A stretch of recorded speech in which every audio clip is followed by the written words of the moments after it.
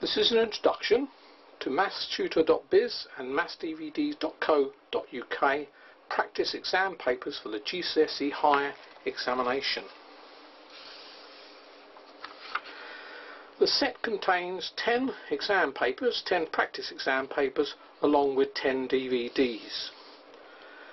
Five of the papers are non-calculator and five of the papers are with a calculator. The DVDs answer all the questions in the papers in detail. Some, more than one method of answering the individual questions are given, along with helpful examination techniques. Each question has the marks awarded explained, so the student can keep a check on their success.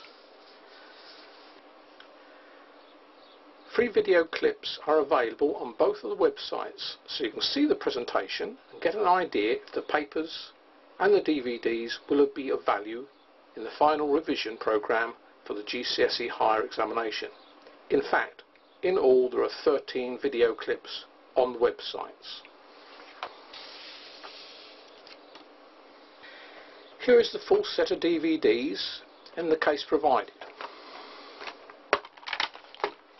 So there's paper 1A, paper 1B, paper 2A, paper 2B, paper 3A, paper 3B, 4A, 4B, and 5A and 5B. The A's are non-calculator and the B's are calculator.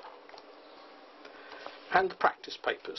10 practice papers, 5 non-calculator and 5 calculator. The idea is that the student works through the exam paper and then after working through it watch the DVD to follow my way, my explanation and the marks.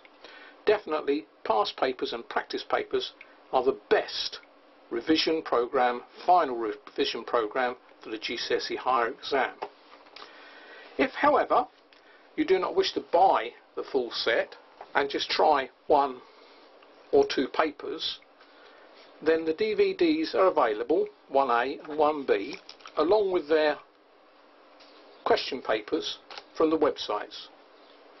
If you then decide to buy the rest of the set, a full refund of any single papers purchased will be returned in coinage along with the DVD case and the DVD papers to complete your set.